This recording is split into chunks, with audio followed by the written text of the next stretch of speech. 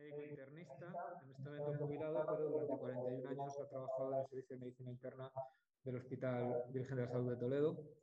Creo que no ha llegado a trabajar en el universitario de Toledo. No, no. En el Hospital Virgen de la Salud de Toledo. Es doctor en medicina y es diplomado sí. diplomado en bioética. Y, bueno, eh,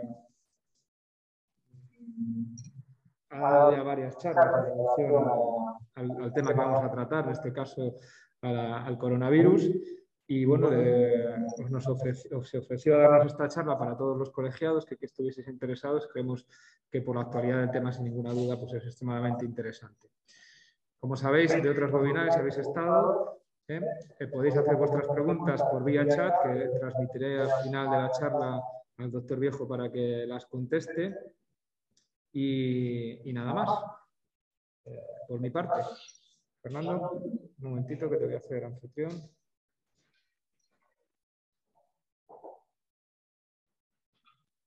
Ya está.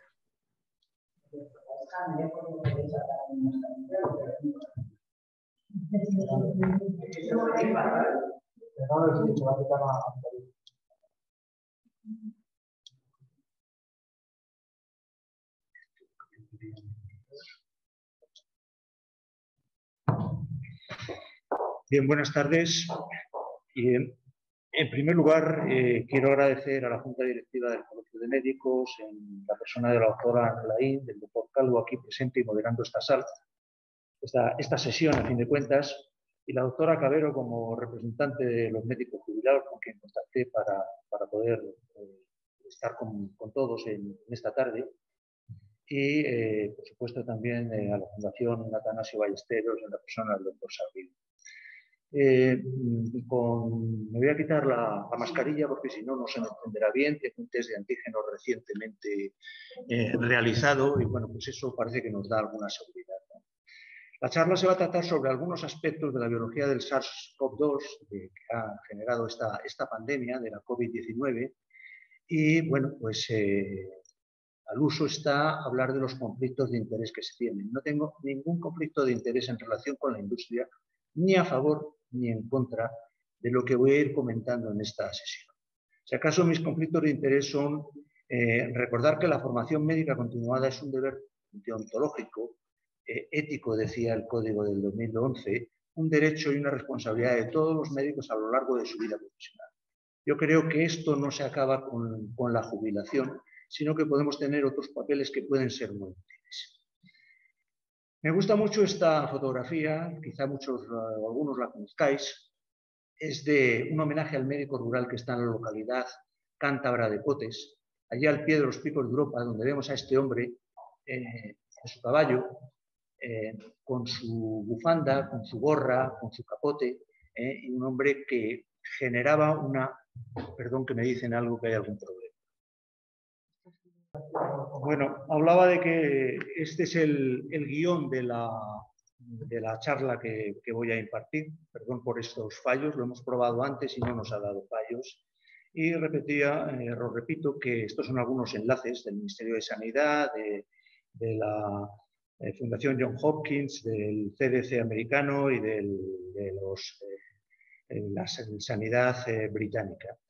Y Aquí tengo eh, lo que hace unos días, las publicaciones que había de COVID-19 en el tiempo que lleva la pandemia. Y había 220.000 artículos. ¿eh? En la consulta realizada el 22 de enero, en la consulta realizada ayer son 221.673. Como comprenderéis, de nada se ha escrito tanto en tan poco tiempo y es un conocimiento que resulta prácticamente absolutamente inabordable. Afortunadamente todo esto está en abierto incluso las personas que nos hemos jubilado, podemos, todo el que interese puede seguir, puede seguir informándose, sin que creo que esto sea ningún privilegio poder compartir lo que es la ciencia. Eh, este es un artículo que nos recordaba hace muy poquito que ¿por qué no abrimos las ventanas del British Medical Journal? Recordándonos que la transmisión aérea está ahora absolutamente demostrada que es principal, el principal modo de transmisión de la enfermedad eh, de, la COVID-2, ¿no? que algunas variantes, como precisamente la Omicron, son tan contagiosas como los anteriores. Eh, hace unos meses en, el Lancet se publicó una carta, entre ellas eh, la firmaba José Luis Jiménez, un español que trabaja en la Universidad de Colorado, y que es un experto de transmisión en aerosoles. Fue de los primeros que avisaron que esto era una enfermedad de transmisión respiratoria, de transmisión aérea. Hablando de algunos apuntes históricos, ya en el año 1912 los veterinarios alemanes ven que aparecen fiebre y gran distensión abdominal en gatos y que eh, veían también bronquitis en pollo, enfermedad intestinal en los animales, con una gran mortalidad. Ellos evidentemente no lo relacionaron con coronavirus, que se aislaron eh, dos, dos virus con estructuras coronales causantes del resfriado común en el año 1960. El microscopio electrónico descubre en el año 68 una estructura que recuerda a la corona solar, que es lo que da el nombre a estos virus, el nombre de coronavirus. Eh, Nature dice que son unos asesinos dinámicos, en el sentido de que pasan fácilmente de una especie a otra, del perro al gato, del gato al perro, a los cerdos y a todos los animales que eh, hemos venido viendo que pueden ser portadores de o padecer la enfermedad. Y se pensaba hasta el año 2003 en que apareció el síndrome respiratorio agudo severo eh, eh, que solo producían enfermedad respiratoria superior leve en los humanos, pero en el año 2003 se vio el SARS y el SARS era una enfermedad que podía matar y mató a unos cuantos humanos. ¿no? Fue una pandemia. El SARS-CoV-2 tiene un conjunto de adaptaciones que lo hacen mucho más letal que otros coronavirus conocidos. Atacan a la célula humana en múltiples puntos. Es un virus grande, relativamente grande incluso de los virus RNA, con un genoma de 30.000 bases génicas que supone el mayor genoma de todos los virus RNA, triplicando el del VIH, el del virus de la hepatitis C y duplicando el de la influenza. Y tiene un mecanismo, los coronavirus tienen un mecanismo de corrección, de proofreading, eh, eh, que mantiene al virus libre de mutaciones que lo debilitan.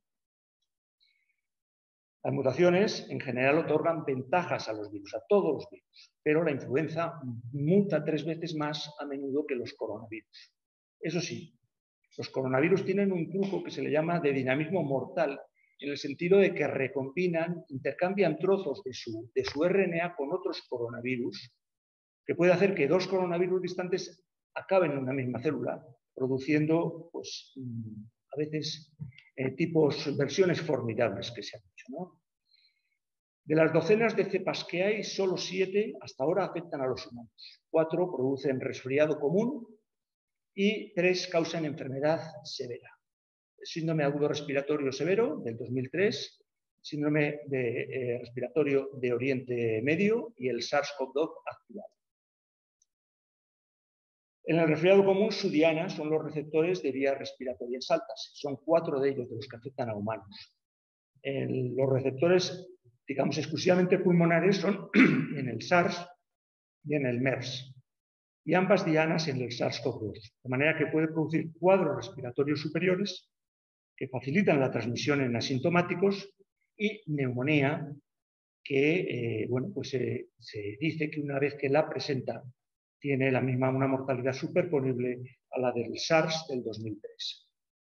¿Y cómo infecta el SARS-CoV-2 las células? Bien, es un virus que está bañado en moléculas glicídicas, en glicanos, en azúcares, que le permiten un camuflaje ante el sistema inmune. Y de él sobresalen las proteínas Spike. Estas proteínas Spike, Spike, aquí vemos una representación, bañadas en glicanos en marrón, y que tienen dos subunidades, la S1 y la S2. De la subunidad superior, la S1, eh, destaca y sobresale el dominio de unión al receptor por el que se anclará a las células. Eh, y eh, la subunidad S2 tiene un tallo con una serie de articulaciones a modo de tobillo, rodilla y cadera. Esto es una representación por ordenador de la movilidad de, de Hiawatha, de la Universidad de Utah, y aquí vamos a ver una eh, simplificación, considerarlo, porque realmente cuando uno se mete en profundidad es muchísimo más complejo en cuanto a moléculas mediadoras de eh, lo que es cómo infecta el coronavirus la célula. La proteína spike tiene un papel fundamental, cada virión tiene unas 24 a 40 spikes y son ampliamente flexibles, mucho más que lo que veíamos en esa representación por ordenador. Y le permiten unirse a los receptores de una célula humana. Es algo compartido con otros coronavirus, pero su unión es dos a cuatro veces más fuerte al receptor AC que era en el SARS del año 2003. Las variantes de preocupación además presentan mutaciones en esta subunidad S1 que hacen eh, que se una con mayor afinidad al receptor AC2. Por ejemplo, la variante alfa tiene 10 cambios en las proteínas de la spike, eh, la, variante delta tiene múltiples mutaciones y qué decir de la variante omicron que tiene aproximadamente 50 mutaciones. No hay una única omicron. ¿eh? Cuando ves las descripciones de los virólogos te están hablando, porque unas veces te dicen que tiene 30 mutaciones en la, en la zona de unión al receptor y otras veces te dicen 37, pues porque hay dependiendo de, las que analicen, tienen unas mutaciones mayores o mayor cantidad o menor. Y los efectos empiezan a ser conocidos ahora los de los de ¿Cómo se une a la célula? Bien, el virus utiliza, aquí vemos la célula en la parte inferior, eh, tiene unas prolongaciones que son unas proteasas que se llaman TMPRSS2 y que en inglés suena muy bien porque llaman la TMPRSS2 y eh, facilita eh, la unión eh, mediante un corte que hace entre las unidades S1 y S2, facilita la unión al receptor AC2. este virus tiene mayor eficiencia que el SARS, evita el atrapamiento en los endosomas y se funde en, la célula pues, mediante la, proteasa celular TMPRSS2 que corta una zona de la subunidad S2 de la spike. Eh, eso expone una serie de aminoácidos hidrofóbicos, que son los péptidos de fusión, que rápidamente se anclan a la membrana celular. Y a continuación la spike extendida se repliega sobre sí misma, como si fuese una cremallera, forzando la fusión de la membrana viral y la membrana celular, inyectándose entonces el genoma en el citoplasma celular como un resorte. Es una representación que se publicó en New England Aquí vemos la, proteína spike en, sus dos eh, subunidades, digamos, en una conformación prefusión, que todas las unidades S1 están recogidas. En un momento determinado, una parte de, la, de una subunidad S1 se eleva eh, con la intención de acoplarse al receptor AC2 y aquí actuaría la, proteasa, esta, la TEMPES2, eh, produciendo una escisión entre las S1 y S2 ¿eh? y eh, haciendo que se separasen las tres moléculas, las S1, y estos puntos rojos, que son los péptidos de fusión, que están en la subunidad S2, se disparasen y se clavasen en la membrana celular, de manera que se encoja como una eh, cremallera, como decíamos antes. Hay una representación muy bonita, que es esta, también una representación por ordenador, pero que nos hace una idea de cómo funciona eh, cómo se produce esa unión a la célula y la inyección del gen. ¿Qué ocurre en el interior celular y de las zonas donde hay más zonas oscuras de, conocimiento? ¿no? Pero tras la entrada en la célula, los ribosomas traducen dos secciones del RNA viral en largas cadenas de aminoácidos y muchos de ellos están involucrados en la síntesis de RNA en su propio beneficio. Eso lo hacen todos los virus, pero este lo hace de una manera digamos, con mayor eficiencia. Trata además de eliminar todo tipo de competencia. Hay una serie de proteínas no estructurales, eh, de ellas una es la proteína no estructural 1, la NSP1, que recluta las proteínas del, huésped y literalmente tritura todo el RNA eh, celular sin marca viral, todo el RNA mensajero. Se reduce la traducción global de proteínas de la célula en un 70% y eh, eh, las proteínas no estructurales estas bloquean el canal de entrada de los ribosomas. Esto, entre otras cosas, desactiva el sistema de alarma celular ¿eh? y no se facilita la salida de interferones, que son la primera lucha dentro de lo que es nuestra inmunidad nativa, y que además alertan al sistema inmune de la presencia de un virus. Comparado con otros virus respiratorios, por ejemplo el SARS del año 2003 y el virus sincitial respiratorio, el SARS-CoV-2 es especialmente eh, eficiente en este sentido, y más aún algunas variantes. A continuación se produce lo que se llama un remodelado de la casa. Tras controlar la traducción de proteínas de la célula, comienza un remodelado completo en el interior y exterior de la célula adaptada a las necesidades del virus. Y esto hace que eh, algunas de las nuevas proteínas spike que se empiezan a producir agujeren eh, la superficie celular. Activa una serie de canales de calcio, se produce una salida de eh, grasa al exterior y facilita la unión, la fusión con otras células vecinas con receptores AC2. Esto hace que se formen sincitios. Los sincitios son magníficos para el muslo, perdón, para el músculo, pero son horribles para el pulmón. Eh, el SARS primitivo, el del año 2003, no formaba sincitios. Sí los forman el virus de la inmunodeficiencia humana y el virus del herpes simple. Y sabemos una cosa, hoy con Omicron, que forma menos sincitios, tiene mucha menos capacidad fusogénica. Posiblemente sea una de las causas por las que Omicron es menos, eh, hace menos daño, ¿no? Por otra parte, estos sincitios hacen que las, células virales se sigan ahí desarrollando tiempo y tiempo. Los, nuevos virus nos dicen que no es un virus que pega y esconde la mano. Pero además hay un mecanismo único entre los virus. Hasta ahora no se había descrito en ningún virus. Forma sincitios con los linfocitos.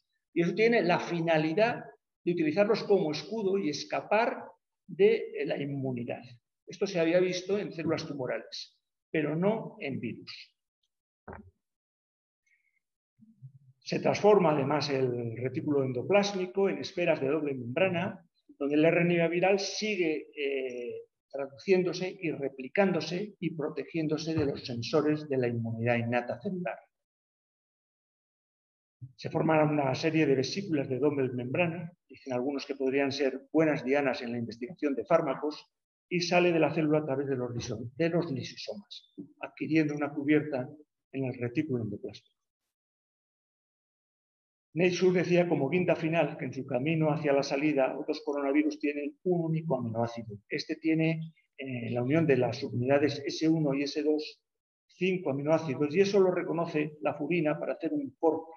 Y parece que este corte de la furina es esencial para una entrada eficiente del virus en células pulmonares, permitiendo que las spike respondan a un segundo corte por la temperatura. Si no son recortadas, pues mm, que parece que esto también Omicron lo hace menos, entran en la célula por una vía más lenta endosómica o no entran. Vamos a ver un poquito de las variantes. ¿eh? Bueno, pues una variante es un cambio en el código genético, en el genoma viral, que puede tener una o más mutaciones. Hay una serie de variantes que se denominan de interés, que se estudian por los virólogos y que en este momento las principales son lambda y mu, pero hay otras que son las variantes de preocupación, ¿eh? las VOC por sus siglas en inglés, que se asocian a unos cambios ya más problemáticos, a un aumento de la transmisibilidad un cambio generalmente perjudicial en la epidemiología de la COVID, o un aumento de la virulencia, o un cambio en la presentación clínica de la enfermedad, o una disminución de la eficacia de las medidas sociales y de salud público, o de los medios de diagnóstico, vacunas y los tratamientos disponibles. En este momento conocemos cinco con sus subvariantes que son alfa, beta, gamma, delta y omega. Sabéis que inicialmente se las describían por el nombre de los países donde se habían descrito inicialmente, pero bueno, parece que eso eh, podía suponerse o interpretarse como un estigma y se ha, adoptado el alfabeto griego. Bueno, algunas variantes eh, tienen los sitios de escisión de la furina alterados y eso les confiere ventaja. ¿no? Entonces, por ejemplo, en el SARS eh, inicial del 2003 esto ocurría en menos del 10% de los casos. En el primitivo, en la variante de Wuhan, en un 50%, en alfa más del 50%. En delta bastante superior y eh, se ven favorecidas para la entrada en la célula humana. La variante delta se sabe que crece en pulmones y vías superiores más rápido y con niveles mayores que variantes anteriores del virus y que comparado con la cepa original se detecta cuatro días post-exposición frente a seis que ocurría muchas veces con la cepa original, sugiriendo una mayor velocidad de replicación. Y tiene además Delta una carga viral eh, más de 1.200 veces superior que la cepa de Wuhan. Delta fue una de las que nos enseñó que había, eh, la transmisión prácticamente era igual, podía ser igual en vacunados que en no vacunados. Eh, estábamos muy conformes, yo recuerdo cuando las guías del TDC, después de los vacunados allá por el mes de febrero o marzo, y decían que entre vacunados se podía, cuando llevaban ya una o dos semanas después de la segunda dosis, se podía estar tranquilamente sin mascarilla. Delta, por ejemplo, dio al traste con todo eso, nos demostró que no era así, aunque es cierto que eh, la siembra viral es menor en los vacunados que en los no vacunados, aparte de los beneficios evidentes sobre la severidad de la enfermedad y la posibilidad de muerte. Este es un artículo de Science que nos habla sobre bueno, pues que la transmisibilidad y la evasión inmune son fuerzas selectivas independientes que conducen a la aparición de la diversidad genética viral y que los cambios de mayor preocupación en la proteína spike serían aquellos que simultáneamente aumentasen la transmisión, la severidad de la enfermedad, evadiesen el reconocimiento inmune en personas previamente expuestas. Sería lo que se llama una variante de gran, con grandes consecuencias, VOHC por sus siglas en inglés. Hasta la fecha, pues parece ser que no se ha descrito. Omicron escapa totalmente o parcialmente a los anticuerpos monoclonales testados. Tiene una ausencia de neutralización, hay una ausencia de neutralización antiviral tras dos dosis de Pfizer cinco meses post-vacunación, en los exclusivamente vacunados. Un mes, es verdad que un mes tras el booster, con Pfizer hay un fuerte incremento de la neutralización, menor que con otras variantes. Por otra parte, con los sueros de convalesciente pasa lo mismo. Tras 6 a 12 meses, pues prácticamente eh, eran relativamente estables con las variantes iniciales, había un ligero descenso con Delta, pero hay una ausencia de neutralización tras 6 o 12 meses a Omicron en el suelo de compareciente de un mes, sin embargo, tras la dosis de refuerzo, hay un fuerte incremento de neutralización, también más bajo que con las otras variantes. Y nos recuerda este artículo, es uno de los que lo van recordando, que como con otras variantes, una sólida una dosis refuerza los anticuerpos neutralizantes en los previamente infectados.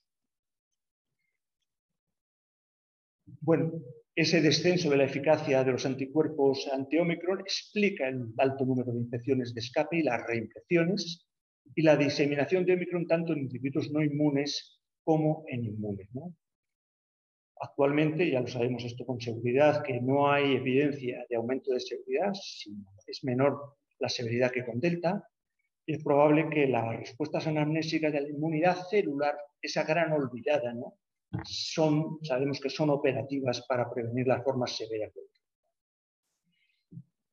Este artículo, publicado como preprint, pues eh, se nos recuerda que, pues que Omicron causa menos formación de sincitios, tiene mucha menos capacidad usogénica y que eh, muchas veces para él, para su replicación, no es esencial la tempus.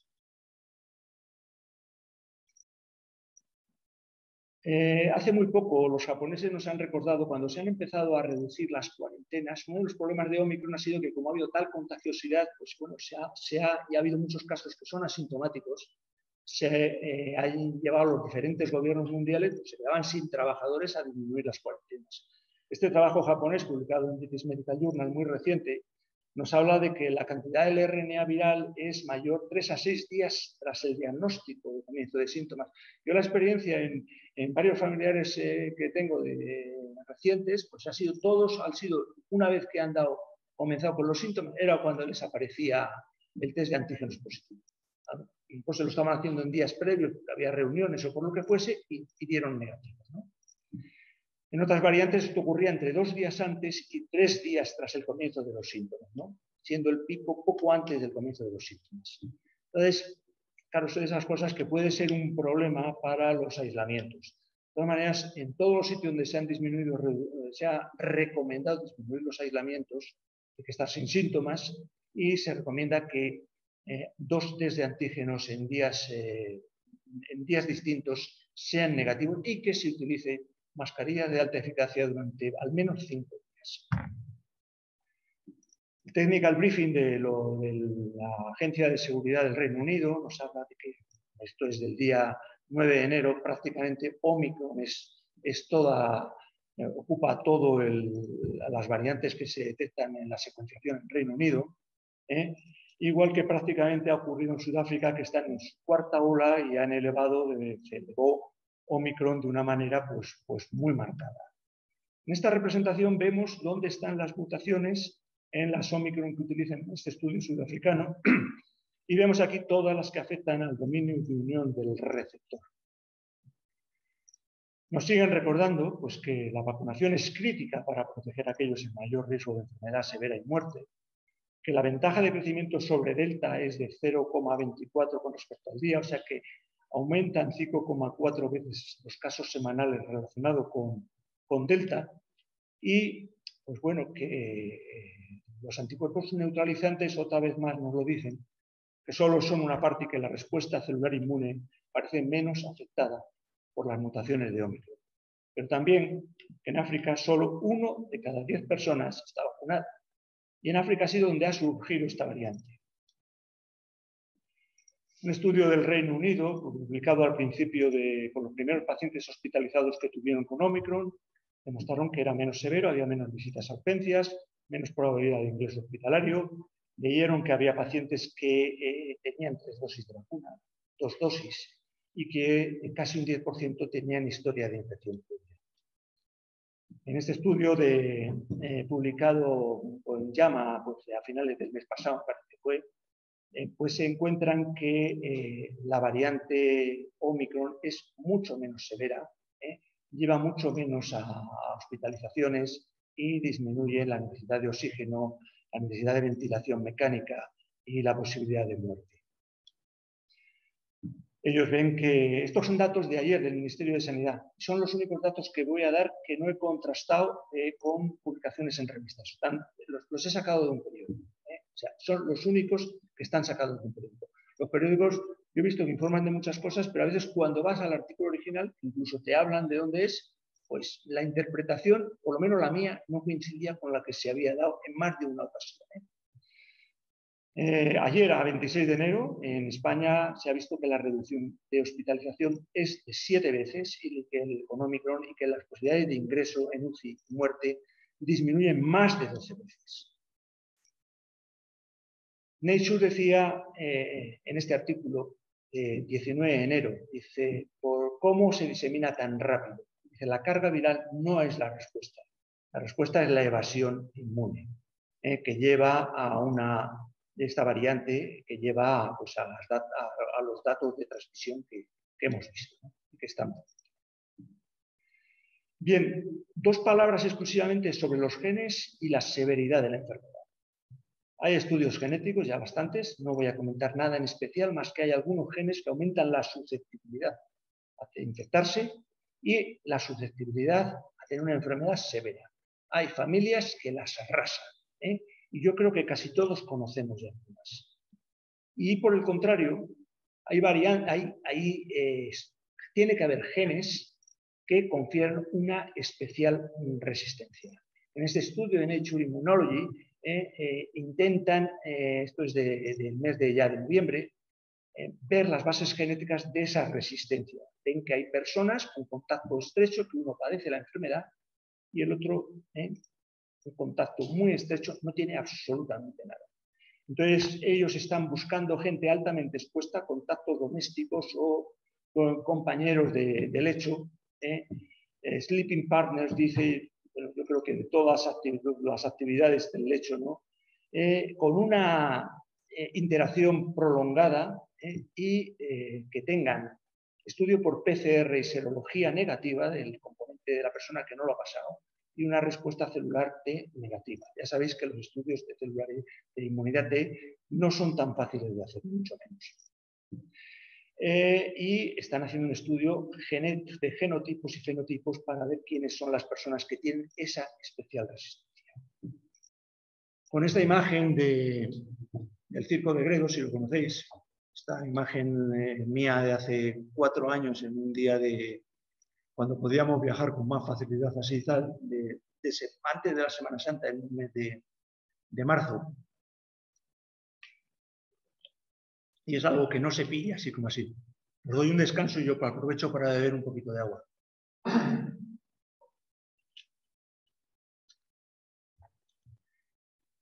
Paso a hablar de la vacunación y los refuerzos.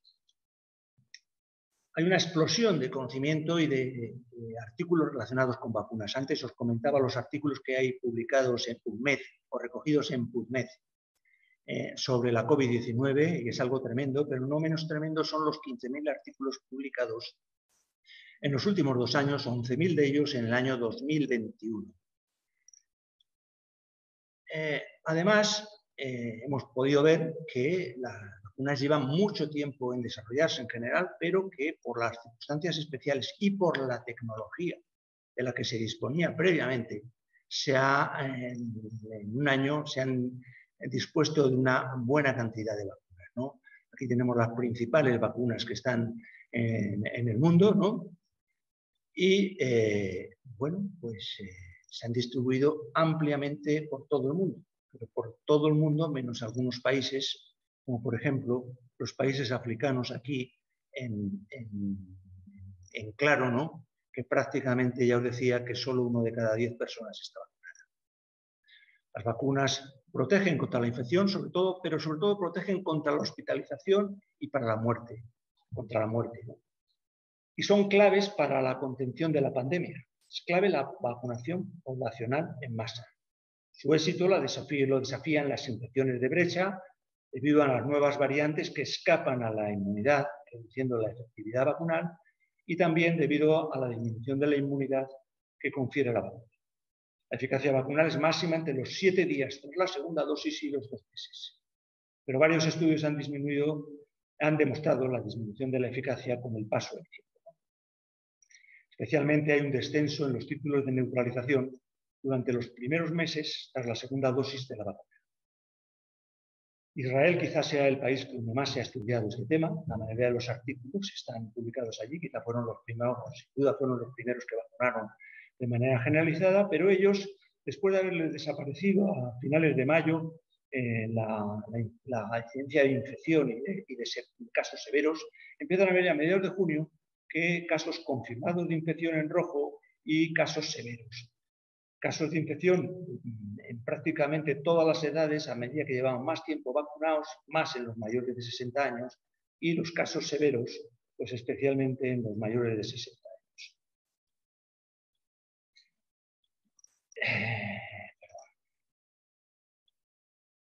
Ellos ven que efectivamente, según va pasando el tiempo, desde enero a marzo, pues la, posibilidad de infectarse, tanto en las personas más jóvenes como, en los personas de mayor edad, tener COVID severo, pues eh, es mayor según pasa, según pasa. Esto les lleva a eh, iniciar las dosis de refuerzo. En este estudio, con participantes de 60 años o mayores que habían recibido dos dosis de Pfizer, al menos cinco meses antes, ven que las tasas de COVID confirmado y enfermedad severa fueron sustancialmente menores en aquellos que recibieron un refuerzo, un booster, ¿no? tercera dosis de la vacuna, ¿no? Ellos volvieron a vacunar con Pfizer. y que además, estos son curvas de mortalidad, los, vacunados, los por tercera dosis, disminuye la mortalidad. Los participantes que recibieron un refuerzo al menos cinco meses tras la segunda dosis tuvieron un descenso del 90% de mortalidad por COVID-19 que los que no lo recibieron. Este es un estudio en que compara ya en efectos de enfermedad leve cómo se comportan AstraZeneca y Pfizer en diferentes grupos de población ante enfermedad leve, enfermedad, eh, hospitalización y muerte. La, posibilidad de infección va disminuyendo eh, progresivamente, de manera más marcada, se mantiene la, posibilidad la estabilidad ante lo que es la hospitalización y el riesgo de muerte. Ellos acaban concluyendo que se ve una disminución de efectividad vacunal contra la enfermedad sintomática, pero menor disminución de la efectividad contra la enfermedad grave, tras cinco meses de dos dosis de AstraZeneca o Pfizer, y una mayor disminución en los mayores de 65 y grupos de riesgo. Pero ellos excluyen a las personas que habían estado previamente positivo y han tenido infección previa, tanto con PCR como con test de antígeno del análisis. O sea, está solo considerándose los vacunados, no los infectados previamente. En ese estudio de Science se demuestra que hay un efecto de las mutaciones virales sobre la inmunidad T, algo que ya hemos visto antes, ¿no? y que la inmunidad celular T inducida por las vacunas reconoce efectivamente las, variantes. Acaba diciendo también que aunque son deseables vacunas de segunda generación basadas en las variantes, podrían ser, no ser necesarias para generar respuestas celulares T mejoradas. Este artículo, si podéis leerlo, son dos páginas publicadas en Science en el mes de junio, y habla sobre la inmunidad híbrida. Ellos comparan lo que llaman inmunidad híbrida con el vigor que da las plantas el hacer híbridos, que son mucho más fuertes que los, que los progenitores de donde venían, y dicen que algo similar sucede cuando la inmunidad natural es combinada con la inmunidad generada por las resultando en 25 a 100 veces mayores respuestas de, antibióticos, de anticuerpos, ¿eh? conducidos por las células T de memoria y por las células TCD4, con un ensanchamiento de la, protección ante las variantes. ¿eh? Este, infección y, vacunación posterior, pues, yo releía el otro día que, por ejemplo, en las personas que han tenido el pest ¿eh? Eh, que son mayores de 50, 60 años, no sé cuál es la edad, si las vacunas, la posibilidad de desarrollar anticuerpos es, no sé si 100 veces superior. O sea, la inmunidad de la infección no es suficiente, sino, sino en la, esto que llaman la inmunidad científica. Y este es un artículo muy reciente que a mí me ha gustado mucho. Me ha gustado mucho. Es de, de hace, yo creo que de hace unos días, publicado en Science Immunology, y comparan lo que es eh, aquellos vacunados antes o después de la infección, ¿eh? que desarrollan una inmunidad humoral mucho más robusta y anticuerpos que eh, ante las variantes neutralizan, que neutralizan las variantes. Ellos cogen grupo de vacunados exclusivamente, grupos de infectados y vacunados y grupos de vacunados e infectados. De entrada ven que no encuentran diferencia entre los vacunados que se infectan, perdón, los infectados que se vacunan posteriormente, no encuentran diferencia si se les eh, vacuna una o dos veces. ¿eh? Ni siquiera en los de edad más avanzada. Y acaban diciendo que en todos los parámetros inmunitarios evaluados en este estudio encontraron mejoría. Y que exclusivamente los participantes vacunados mostraron una clara correlación negativa con la edad. O sea que aquí sí, los vacunados solos, de más de 60 o de 65 años, tenían una disminución progresiva de la inmunidad. Pero esto no ocurría en aquellos con inmunidad híbrida. ¿eh? No había esa correlación entre edad y caída de, de, anticuerpos. Es más, la relación entre edad y niveles de anticuerpos tras la infección natural es marcadamente más compleja que tras la vacunación con un pico de anticuerpos visto entre los 60 y los 80 años de edad, ¿eh? tras la infección. O sea, que los más mayores en este estudio encima demostraron altos niveles de anticuerpos. En este estudio de efectividad en vida real, en el estado de Nueva York, comparan dos fechas, antes de 1 de mayo con 28 de agosto, y ven la diferencia de infección con las tres vacunas que tienen ahí en Estados Unidos. ¿eh? Y antes de Delta, que ya tienen luego a 28 de agosto, ellos tienen una caída del porcentaje de protección contra la infección de 19 puntos en las dos vacunas mRNA y de 17 puntos en la vacuna Johnson, pero una efectividad contra la vacunación, contra la hospitalización muy marcada. ¿eh? Se mantuvo elevada, ¿no? Y eh, ellos, para ellos, ellos sugieren que el refuerzo debe ser para aquellas personas de 65 o más años de edad, fundamentalmente. Vamos a ver algunas situaciones especiales que son absolutamente fundamentales. En este estudio, en el JAMA, eh, analizan embarazadas, ¿eh? embarazadas durante un periodo de, marzo, se analizan desde 2020 hasta eh, prácticamente tiempo avanzado del 2021 y ven que todo, comparando pacientes con COVID y embarazo sin COVID y embarazo, ven que la mortalidad hospitalaria, la admisión en UCI, todos los parámetros, la posibilidad de muerte y prematuridad, todos son mucho más altos en las eh, que tienen COVID. ¿no? Son 870.000 embarazadas de 500 centros de Estados Unidos, entre marzo del 2020 y febrero del 2021. y la posibilidad de muerte se, mueve, se eleva por 15 veces, la posibilidad de intubación por 14, de prematuridad por 21. Nature nos recuerda hace muy poco tiempo que el embarazo es una situación de tormenta perfecta y que no hay ninguna duda de que el COVID pone a la embarazada en una situación de alto riesgo.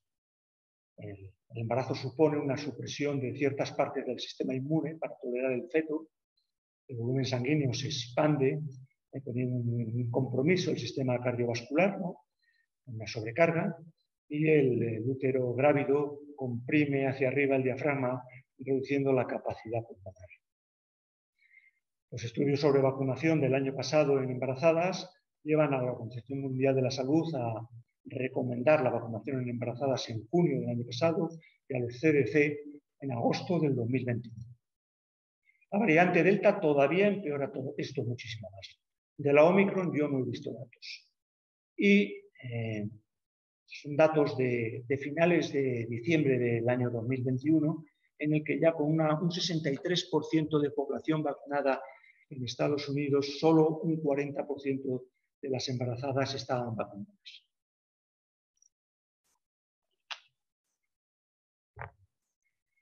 El grupo de Fauci nos presenta a mediados de diciembre eh, un estudio sobre la posibilidad de la, posible vacuna universal que a todos nos gustaría tener, ¿no? Y hablan de ello como una urgente necesidad, ¿no?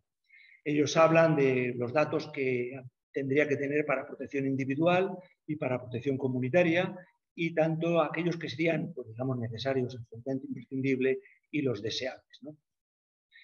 Y eh, eh, hay ya un ensayo clínico en fase 1 está analizando una, posible vacuna universal. Ya veremos qué acaba resultando, porque sería muy bonito disponer de esa vacuna eh, soñada por todos. En este punto de vista del, lance, nos hablan de que eh, eh, se debe, las estrategias deben ser, deben ser basadas en lo que es la prevención de la enfermedad severa, pero no nos olvidemos de la equidad global.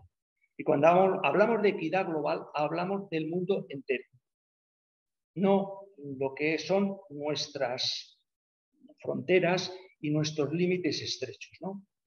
Porque si no, es probable que nunca acabemos con esto, ¿no?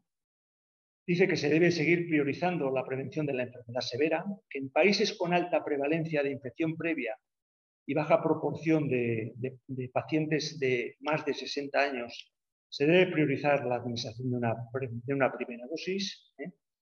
Al revés, en los países de baja prevalencia y de alta proporción de enfermedad mayor, que debe haber, los adultos tienen que tener al menos dos dosis, y que los severamente eh, inmunocomprometidos o mayores de 60 se están, la evidencia apoya una dosis de refuerzo. Hablo ahora de los tratamientos precoces y traigo aquí esta diapositiva que muchos recordaréis de las fases eh, iniciales de la, pandemia, ¿no? cuando nos hablaban de unas fases claramente, empezamos a, conocer unas fases que, en la enfermedad claramente mm, definidas. Las fases iniciales, que eran unas fases virales, ¿eh? Eh, de muy poquita severidad, las fases pulmonares, donde ya podía empezar a haber severidad, y bueno, pues aquellas fases que eran el estadio hiperinflamatorio, que muchas veces llevaban a, la UCI y llevaban, acababan conduciendo a la muerte. Y eh, esto es un estudio del, está, está recogido en Current Opinion of Farmacoterapia, del, yo creo que ya es de este año, no lo veo bien ya, en 2022 me parece. Sí. hablan de los fármacos que, son, que pueden ser útiles en las diferentes fases. En estos momentos hay tres fármacos de, alto costo que se están posicionando en este terreno. Uno de ellos está publicado eh, en New England hace muy poquito, ¿no? el estudio del Remdesivir, es un ensayo clínico en pacientes no vacunados de alto riesgo, de más de 60 años o con características de severidad potencial. Y eh, esto hay que administrarlo en los primeros, primeros días y ven una disminución en, pues, prácticamente en todo, entre lo que es, les, los que les administran placebo o les administran el remdesivir. ¿no?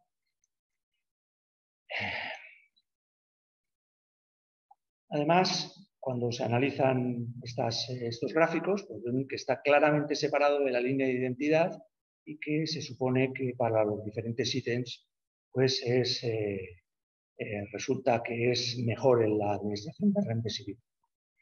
La conclusión de ellos es que entre pacientes no hospitalizados con alto riesgo de progresión, un curso de tres días de remdesivir eh, tuvo un aceptable perfil de seguridad y un 87% menos de riesgo de hospitalización o muerte que el placebo. Salles nos eh, publicaba los dos fármacos que, van a salir por vía oral, ¿no?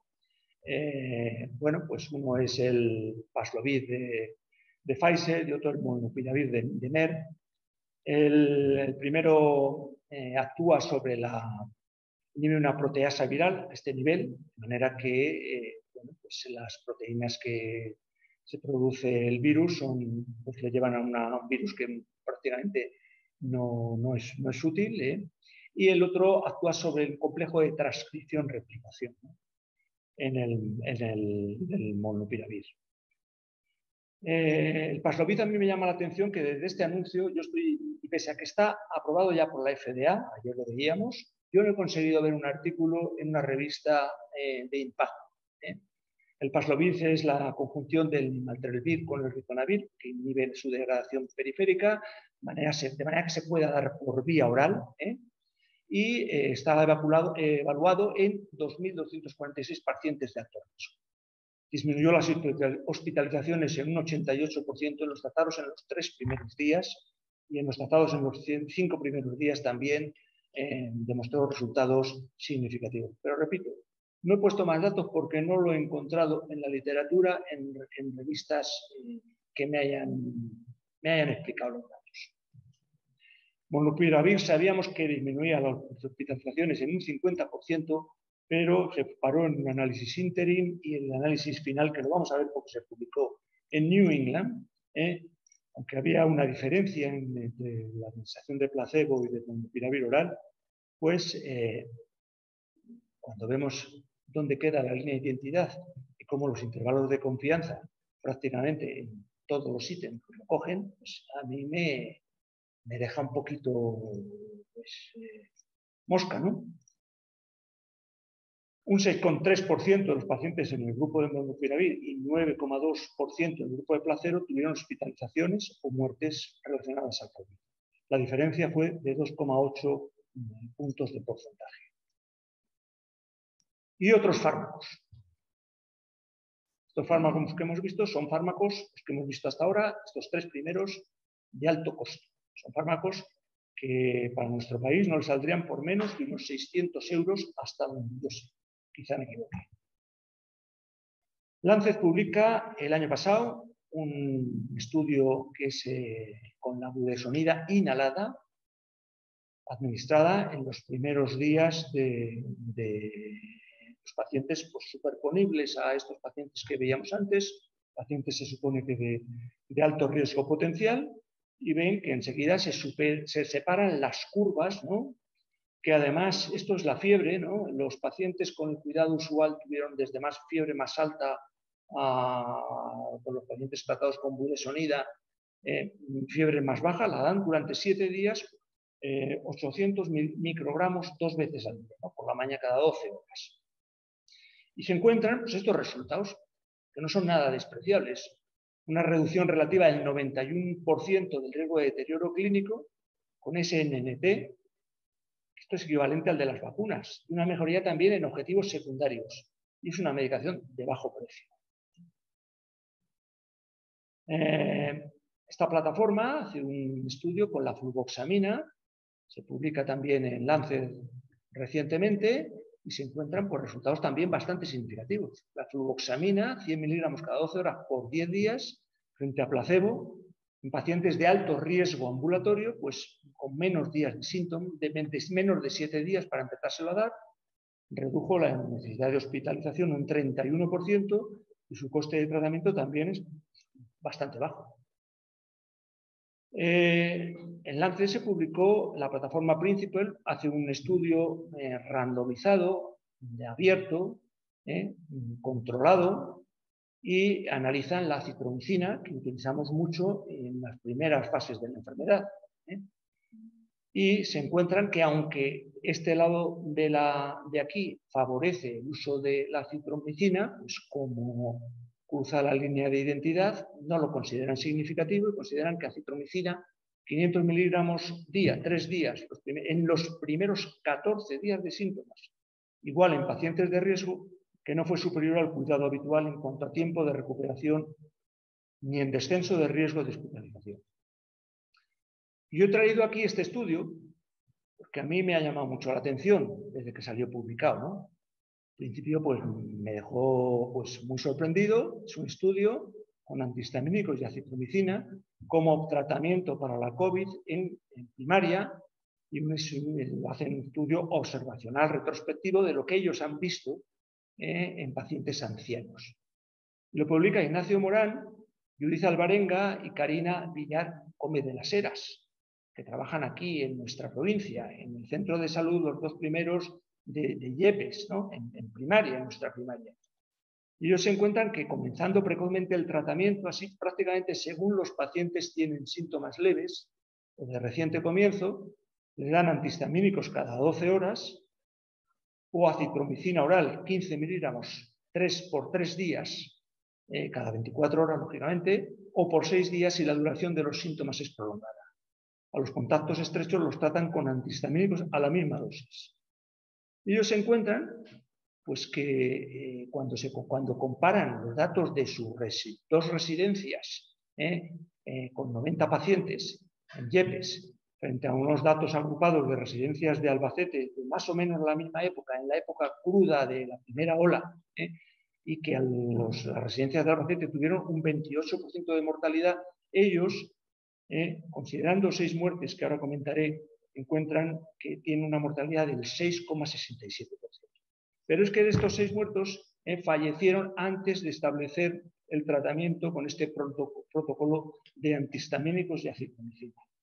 De manera que concluye que todos sus pacientes evolucionan favorablemente y se recuperaron. Tenían una edad media de 85 años. Ninguno requirió ingreso hospitalario ni presentó efectos adversos y a finales de junio del 2020 todos tenían una serología positiva del COVID-19, el COVID el 100% de los residentes. Ellos ven, y otros autores en su estudio, cómo pueden estar funcionando que otros estudios, otros datos, digamos, no, mm, como en las, estatinas hablaríamos de los, datos, el, funcionamiento los, función pleiotrópica, ¿no? O sea, que no es estrictamente la, disminución del colesterol, ¿no? Entonces, ellos ven que la citromicina, hay datos en la literatura que dice que habla, hay una interferencia con el receptor AC2 y un descenso en la unión al virus. Una inhibición de la actividad lisosómica responsable de la entrada del virus y del ciclo de replicación. Un descenso de citocinas relacionadas con el daño pulmonar. Una amplificación de las respuestas antivirales interferón mediadas una modificación del microbioma de la vía aérea y una inhibición de la replicación del SARS-CoV-2. Hablan también de los efectos que tienen los antihistamínicos y que puede haber una sinergia potencial acitromicina con anti-H1. Hay otra cosa que es que es evidentísima, ¿no? que es que ellos comienzan el tratamiento aquí en esta fase súper precoz. ¿eh? El estudio del Rendesivir habla de enfermedades virales en que es muy importante comenzar el tratamiento muy temprano. ¿eh? Yo no me voy a citar eh, del ébola porque, quitando la doctora Cabero, que sí tiene experiencia en ébola, los demás pues no tenemos ninguna experiencia en ébola, afortunadamente, ¿no? Pero mm, todos conocéis el ejemplo de lo que pasa con el herpes zoster, ¿eh? especialmente si en los mayores de 50 años no les damos el tratamiento antivírico precozmente, en los tres primeros días. Pues no sirve para nada. Entonces, el comenzar el tratamiento precoz es, lo que han preconizado, están preconizando en estos estudios estos fármacos de alto coste. O sea que también puede ser otro factor ¿eh? porque ese tratamiento haya funcionado ahí. Dicen que no hay ensayos clínicos aleatorizados. En este estudio, publicado ni más ni menos que en British Medical Journal, hace ya casi 20 años, pues hablan de que nadie ha hecho un estudio para demostrar que el uso de paracaídas previene la muerte y el trauma mayor en los que se tiran desde las alturas en las que se tiran en paracaídas. Hablan de que no hay ensayos clínicos controlados de que las bases para el uso de paracaídas son puramente observacionales. Yo recuerdo lo que decía siempre nuestro el doctor Cuena, nuestro farmacólogo clínico del hospital, que no todo es susceptible de un ensayo clínico. Cuando las diferencias son muy marcadas, los estudios observacionales tienen una gran utilidad. Este es un estudio francés que me, pasó, precisamente eh, el, aquí presente, el, me acuerdo de tu apellido, Ignacio, ¿eh? y combinamos un estudio francés publicado en inglés, en el Review of Cardiovascular Medicine, en mediados del año pasado, en que hablan de la combinación precoz de hidroxicloroquina y acitromicina, reduce la mortalidad en más de 10.000 pacientes con COVID-19 ambulatorios. Ellos se encuentran, este es su estudio, y que los otros estudios que hay de la hidroxicloroquina, que están la mayoría bastante alejados de la línea de identidad, ¿no? Es el, total de los estudios en, este metaanálisis. Y que en su estudio, comparado con nuestros estudios de hidroxicloroquina, su mortalidad fue 1,5 por mil, ¿eh? que es bastante bajita. Ellos dicen que el tratamiento ambulatorio precoz ¿eh? Eh, del COVID-19 con hidroxicloroquina, citromicina, que por cierto, el doctor Largo, que está aquí, recordará que los que estuvimos en la primera ola enfermos del Servicio de Medicina Interna, lo tomamos unos cuantos de nosotros, ¿eh? pues que, este tratamiento como estándar asociado, pues como, como, estándar de cuidado asociado, se asocia con muy, una mortalidad muy baja y que mejora la supervivencia de la COVID-19 comparado con otros ellos tienen unas frases aquí también en su discusión de llamada a, los gobiernos y a las agencias evaluadoras. Dicen que parece urgente que los gobiernos y las autoridades de salud tengan en cuenta la evaluación de drogas, de fármacos que ya, de los que ya no, quieren, no van a obtener beneficio las, las, casas comerciales, que son probablemente más efectivos que las, los fármacos desarrollados para esta pandemia y que esto requiere un profundo cambio de paradigma. En Ontario publican estas guías clínicas este, este mes de enero eh, y ellos sí incluyen, por ejemplo, eh, lo que es tanto la fluvoxamina como la budesonida inhalada en pacientes con riesgo moderado o riesgo severo de enfermedad, porque yo no las he visto en guías clínicas, como se gusta muchas veces ver, eh, que son las que utilizan los médicos de primaria, como las guías Fisterra o consultamos UpToDate. Yo no he leído en, todas esas guías nada absolutamente. Y eh, estoy terminando ya. Esto está publicado en, un British Medical Journal de esta semana. Es un editorial y que eh, recuerda que tenemos que tener, que las agencias evaluadoras tienen que tener los datos de los estudios, los datos crudos para poderlos analizar. No simplemente lo que se publica en una revista, por muy de alto impacto que sea, como New England. ¿eh? Lo he traducido y la traducción, me puedo asegurar, que aparte de haberla hecho yo, me la ha revisado una traductora, dice, las compañías farmacéuticas están cosechando enormes beneficios sin un escrutinio independiente adecuado de sus afirmaciones científicas. El cometido de las agencias reguladoras no es bailar al son de acaudaladas corporaciones y enriquecerlas más. Es proteger la salud de las poblaciones. Necesitamos una transparencia plena de los datos de todas las publicaciones. Lo necesitamos en interés público y lo necesitamos ya. Concluyo diciendo que la vacunación, sí, por supuesto, pero de la población mundial, que es importantísimo aclarar la necesidad o no de refuerzos en infectados vacunados o vacunados infectados, y esto, si os fijáis, lo están diciendo los inmunólogos, que mm, en, los, en el Comité de Vacunas Español están diciendo los inmunólogos que no hay inmunólogos, ¿eh? que se necesitan inmunólogos, ¿eh? que además, si no entre otras cosas, mm, primero, estaríamos eh, tirando un dinero negando vacunas al tercer mundo y sometiendo a un riesgo de personas que no se necesitarían seguir poniéndose refuerzos.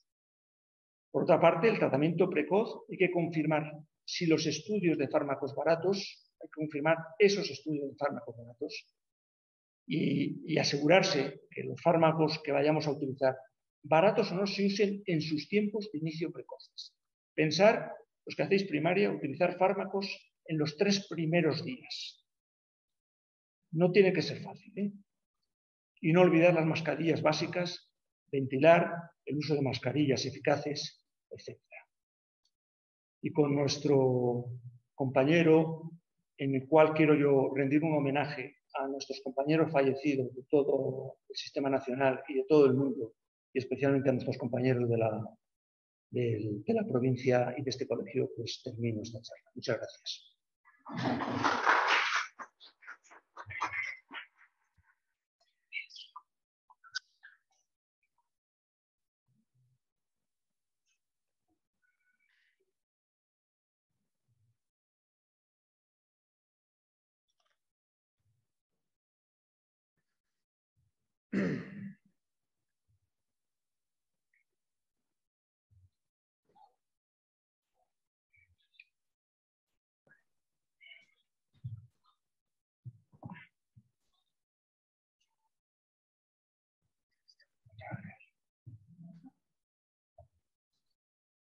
Bien, vamos a. Gracias, Fernando, por la ponencia. Vamos a empezar un turno de, preguntas, si os parece. Dentro de los que estáis siguiendo la, conferencia por, internet de forma online, para pedir la, palabra o para hacer una pregunta, os ruego que lo hagáis por vía chat o que levantéis la mano a través de la, de la, propia aplicación. Y los que estéis aquí presentes, si alguien tiene alguna pregunta para Fernando, pues por favor se la transmitís directamente. Yo personalmente, Fernando, bueno, la exposición me parece brillante. Eh, la exposición me parece brillante. La primera parte, desde luego, eh, es. Eh, la primera parte me parece muy, muy aclaradora ¿no? de, la, fisiología del virus y demás. Quería preguntarte si, realmente estamos ante eh, una variante, la Omicron, con una capacidad eh, infectiva muy grande, pero con una capacidad patogénica, por lo que se ve, mucho menor.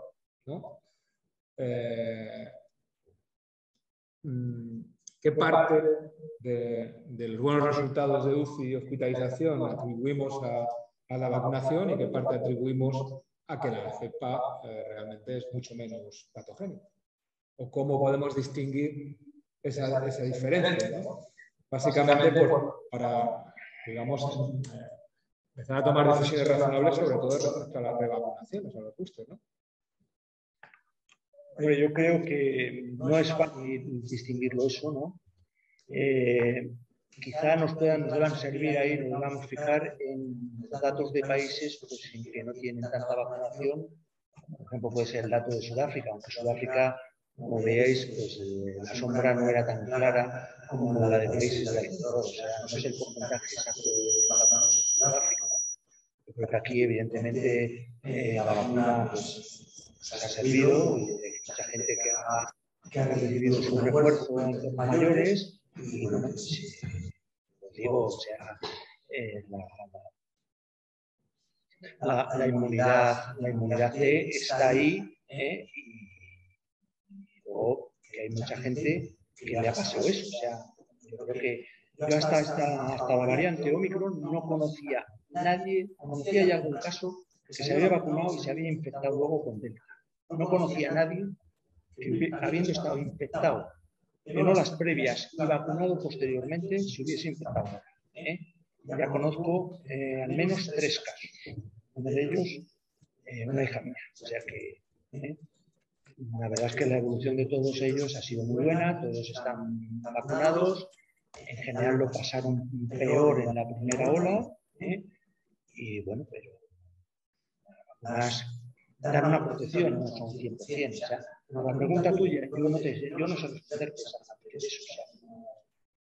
Es decir, que las vacunas, la vacuna no siguen funcionando, por eso nos dicen en la inmunidad celular T, luego las personas recién puesto en un refuerzo reciente, pues, pues es algo, evidentemente, algo le hace los estudios inmunológicos. Claro, una cosa son los estudios, las poblaciones reales y otra cosa son los estudios eh, eh, in vitro, ¿no? O sea, los estudios que hacen los inmunólogos, ¿no? que además son con, grupos bastante, bastante limitados. ¿no? Eso, realmente, pues, en nuestros hospitales, eh, aquí el doctor Largo me puede decir que eh, la, la, ola esta no es como la de hace un año por estas fechas en las Navidades, ¿eh?